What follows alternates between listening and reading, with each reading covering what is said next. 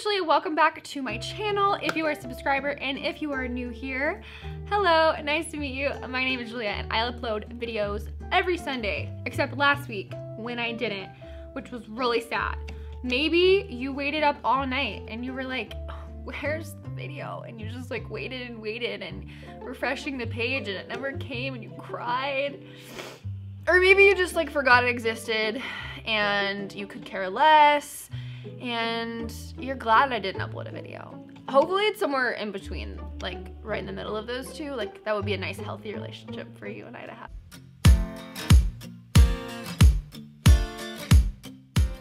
So basically, I was too busy last weekend to upload a video because I spent the entire weekend at a training. And I also had a really busy this week. Really, this week was really busy for me. And I almost forgot to upload a video this week too. And so I was like, oh my gosh, need to film a video. So I just want to get a video up because it makes me really sad when I don't. So this is just gonna be kind of a stream of consciousness life update.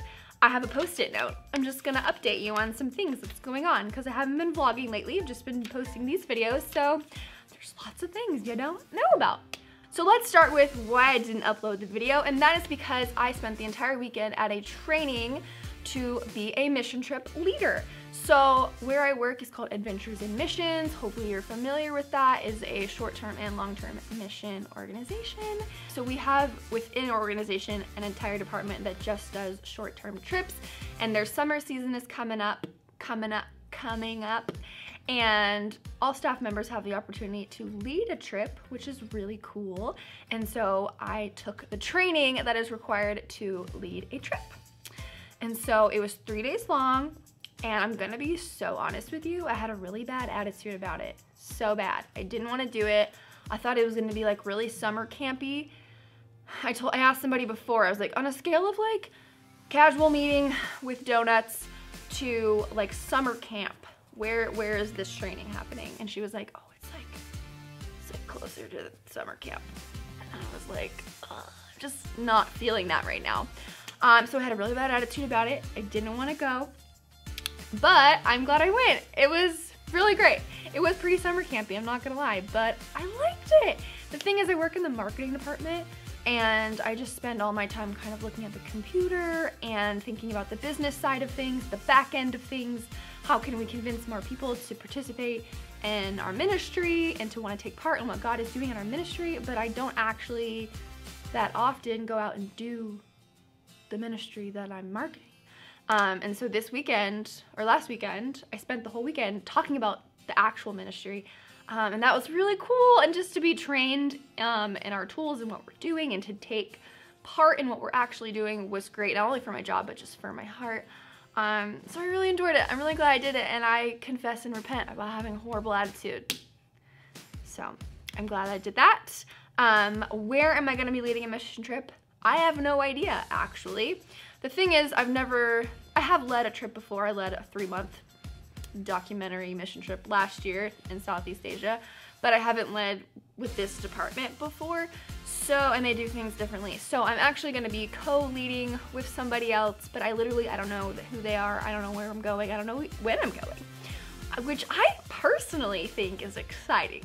I'm an INFP on the Myers-Briggs, and the P part means that I like freedom, I like unknown, I like spontaneity. I don't actually know if that's what that means, but I know that I think this situation is exciting and it is not stressful to me, whereas other people would be like, I hate this. I need to know where I'm going, I need to know when, I need to put it on my Google Calendar, la la la la la. If any of you guys are familiar with the LDS community, the Jesus, the Church of Jesus Christ of Latter-day Saints, Mormons, they, when they go on their missions, they get these letters in the mail and they open them up and their whole family and friends come over and they have a party. And it says like where they're going for two years or a year and a half. And it's very exciting. And I'm like this is the closest I'm gonna come to that you know? Maybe. I think it's gonna be exciting. So I don't know where I'm going but I'm assuming it'll be in like June maybe July. Most of their trips are in June or July which is something I know because I do most of the marketing for their trips if you want to go on a mission trip with Adventures in Missions, I will link down below the summer schedule. They're just like a week to 10 days if you're interested in that. If you want to do anything longer, like um, a month, two months, three months, 11 months, you want to move and live there, we have those options too. I'll link down below the website. Okay, the next update is a travel announcement. In about three weeks or so, I'm gonna be going to Peru. Oh, I'm so excited. I have wanted to go to South America, honestly, since like 2013. Right when I got home from the four months I spent in Europe, right after college, I was just dreaming about South America. I don't quite know why, but I was dreaming about it. And I obviously had to work and then I went on the world race and the world race I was like I need to pick something with South America. I'm obsessed with South America. I really like speaking Spanish. And I felt like and there weren't any routes that had South America and India and I just felt like I had to go to India because I felt at the time I was really scared of India and I was really intimidated by it and I felt like that's really irrational and annoying so I'm gonna go to India. Whoa. That was my door, but it sounded like an axe murderer. That was really scary. Anyways, back to my analogy about fear and face. Basically, I decided it was very important for me to go to India, so I picked it over South America. And now, to this day, if I see a route that has India and South America on it, I get really mad. Anyway, so I have not been to South America yet. And so at the beginning of the year, I literally called all my friends together and said, okay, we're having a meeting. We had a meeting during lunch at work and I said, we're going to go over our travel plans for the year and we're going to discuss everyone's goals and ambitions and we're gonna get out our calendars and we're gonna walk away from this meeting with a decision about whether or not we're going on a trip together. And we all talked and we talked and we walked away from that meeting with the decision that Betty, my roommate, and I are going to Peru. Yes! I'm so excited. Um, I honestly want to go to most countries in South America, but Peru is top of the list. I don't really know why.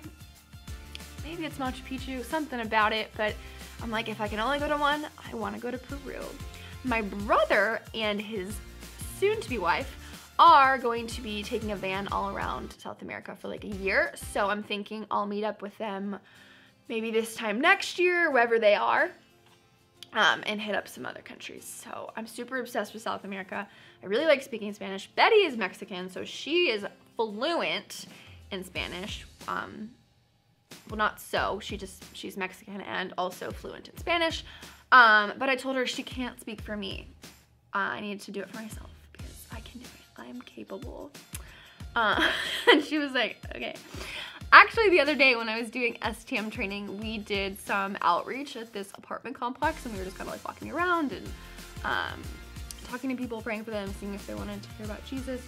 And I talked to this woman in Spanish for like 20 minutes because she didn't know English. And I was like, I'm doing evangelism right now in Spanish. This is like the most empowering thing I think I've ever done. And I've done some empowering things. So that was really cool. In fact, I've been feeling really empowered a lot lately. I feel like this past week especially, the Lord has been really trying to empower me. I mean, he was like being really encouraging to me at the STM training. I There was this one person at the training who intimidates me and I just tend to avoid people who intimidate me, a vulnerable confession. Um, and I remember God was like, you should just view yourself like you view her and then you won't be intimidated. And I was like, whoa. So I was like, okay, I will. I'm just as awesome as that person. That, that settles that. Okay. Okay, my card is running out of space, so we gotta wrap this up. Thank you so much for watching this video. Comment down below um, thoughts and ideas and requests that you have about my channel and about videos. And I will see you in the next video. Thank you so much. Bye. Subscribe if you haven't. Okay, this is annoying. Okay. And if you want it, come and get it. Crying out loud. Let go